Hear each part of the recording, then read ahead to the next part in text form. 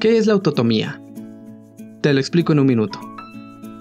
La autotomía es un mecanismo de defensa que poseen algunos animales, como insectos o reptiles, que les permite desprender alguna parte no vital de su cuerpo, como amputar alguna de sus extremidades en defensa propia para salir de alguna situación apretada como escapar de algún depredador.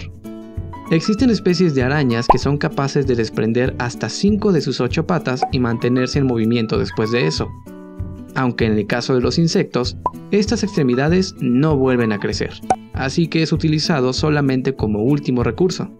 Con los reptiles es otra historia, ya que la autotomía caudal les permite desprenderse de su cola en un punto cartilaginoso llamado septum, donde los músculos y vasos sanguíneos son más delgados y al mover la cola bruscamente se facilita su desprendimiento. En ciertas especies de lagartos o salamandras, esta fractura forma un blastema, que posteriormente le permite al animal regenerar alguna extremidad perdida, pero ese es tema para otro video. Hasta la siguiente semana.